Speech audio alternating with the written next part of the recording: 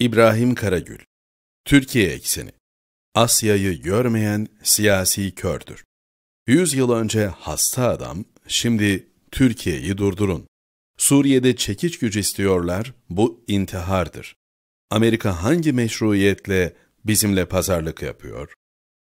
Dışişleri Bakanı Mevlüt Çavuşoğlu'nun yeni Asya politikasına yönelik açıklaması, aynı açıklamada Türkiye ekseni vurgusu ne kadar hakkıyla tartışılır emin değilim. Birçokları bunu klasik Rus Avrasyacılığına kurban etmek isteyecek, bazıları küçümseyecek, Atlantikçi ezberlerin rehin aldığı çevrelerse ihanet gibi gösterecek.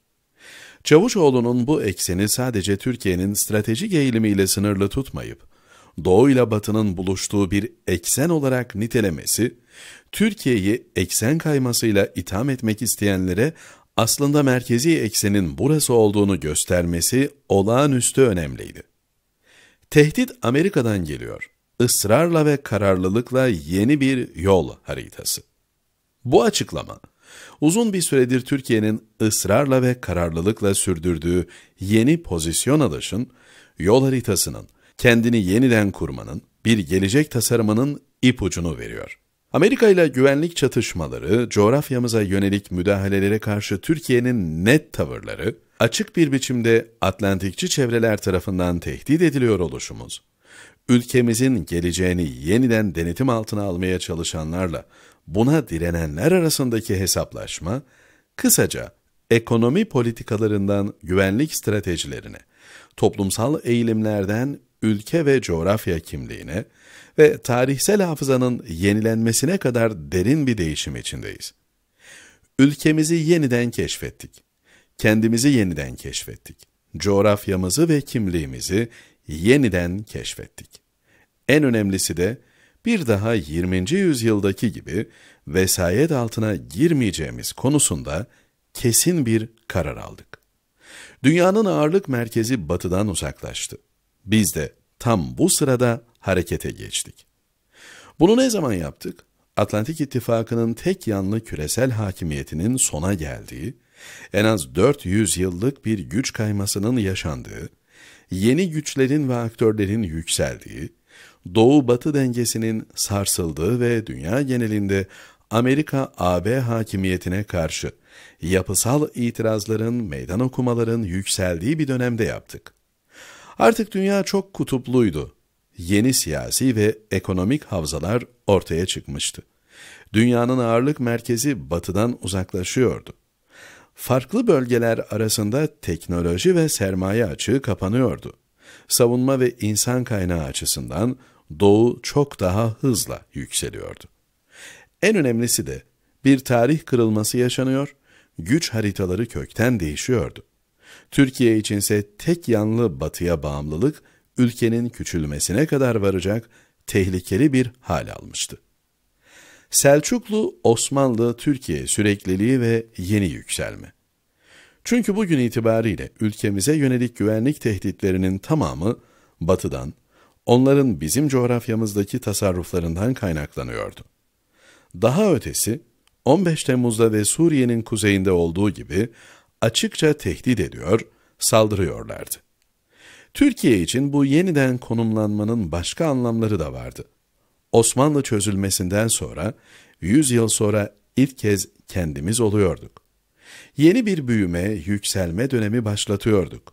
Devleti ve kurumları buna hazırlıyor, toplumun bu yönde desteğini alıyor, ülkenin ve milletin hedeflerini yeniliyor, Selçuklu, Osmanlı, Türkiye devletler sürekliliğini yeni bir aşamaya taşıyorduk.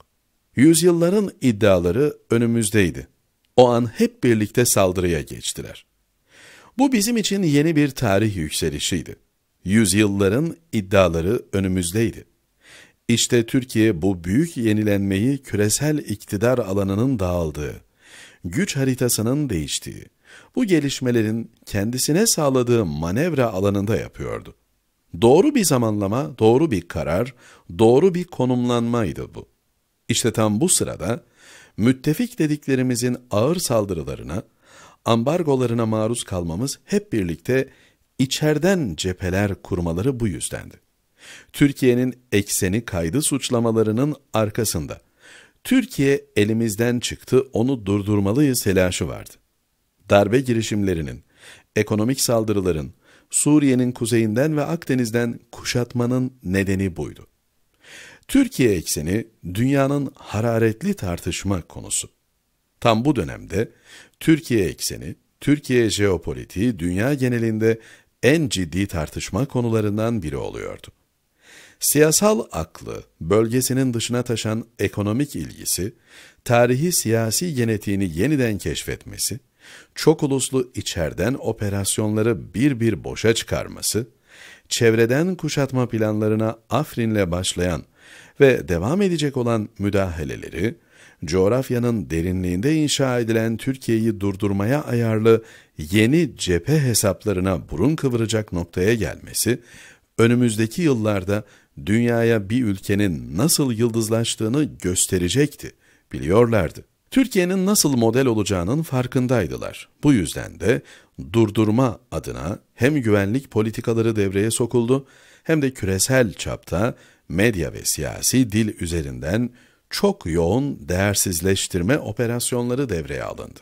Yüz yıl önce hasta adam, tarih bizi yeniden çağırdı, şimdi Türkiye'yi durdurun. Yüz yıl önce hasta adam, şark sorunu olarak bir çöküşün hikayesi yazılıyordu. Yüz yıl sonra Türkiye'nin yükselişinin hikayesi yazılıyordu. Batının duraklamasından faydalanarak, Doğu'nun yükselişini arkamıza alarak bir Türkiye ekseni kurmak zorundaydık. Bu 21. yüzyılın sesiydi. Bütün coğrafyaya yayılacak bir siyasi dildi. Tarih bizi yeniden çağırmıştı. Omuzlarımıza yine o yükü yüklemişti. Tam da bu dönemde dostun, düşmanın kim olduğu netleşmekteydi. Her büyük tarih kırılmalarında netleştiği gibi. 21. yüzyılın sesi. Bu ses büyük bir medeniyet mücadelesiydi. Bir onur ve özgürlük mücadelesiydi. Sesi o kadar güçlü ki Afrika'nın derinliklerinden Orta Doğu'nun sokaklarına, Pakistan'dan Malay dünyasına kadar yankılanmaktaydı. İşte biz bunun 21. yüzyılın sesi olduğuna, küresel hesapları alt üst edeceğine, o çok uluslu projeleri boşa çıkaracağına, bu coğrafyadan destansı bir yükseliş dönemi başlatacağına inanıyoruz. Asya'yı görmeyen siyasi kördür.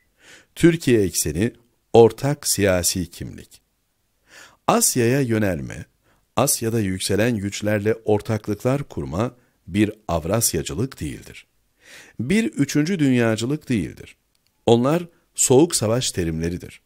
Dünya büyük bir sarsılma yaşadı. Kavramlar kadar zihinler kadar gerçekler de değişti, güç de değişti. Bu gerçeği görmeyen devlet kördür. 21. yüzyıl ve sonrası için asla bir gelecek inşa edemez. Türkiye ekseni bizim sahip çıkmamız gereken tek ve en üst siyasi kimliktir. Altını doldurmalı, bu yönde entelektüel alanda içerikler üretilmeli, tartışmalar yapılmalı, bir toplumsal bilinç uyandırılmalı, kenetlenmelidir. Fırat'ın doğusuna müdahale, yeni çekiç güç istiyor onlar. En yakın güncel bir örnek vereyim. Cumhurbaşkanı Erdoğan iki gündür Fırat'ın doğusuna müdahale yönünde açıklamalar yapıyor. Amerikan heyetinin Ankara'da bunu engellemeye, sulandırmaya dönük temasları sürerken, Fırat Kalkanı ve Afrin müdahalesi o çok uluslu iradeye bir meydan okumaydı. Türkiye ekseninin cevabıydı. Fırat'ın doğusuna yönelik müdahale planı da öyle. Onlar bizi çevrelerken bizim bu kuşatmayı cesaretle yarmamız Türkiye ekseni duruşudur işte. Çünkü onlar Suriye'nin kuzeyinde çekiç güç benzeri bir yapı kurmak, Türkiye'yi ortaklıkla durdurmak istiyorlar. Bizse bunu kesinlikle reddediyoruz çünkü Suriye'de çekiç güç intihardır, bir sonraki cephe Türkiye içinde olacaktır. Amerika hangi meşruiyetle masamıza oturabiliyor?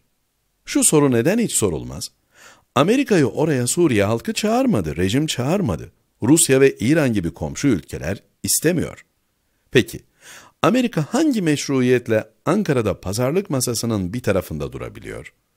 bizim can alıcı bir savaş verdiğimiz terör örgütü sözcülüğü dışında hangi misyonla karşımızda ve biz onu neden muhatap alırız? Bu da Türkiye ekseni duruşudur işte. İbrahim Karagül, Yeni Şafak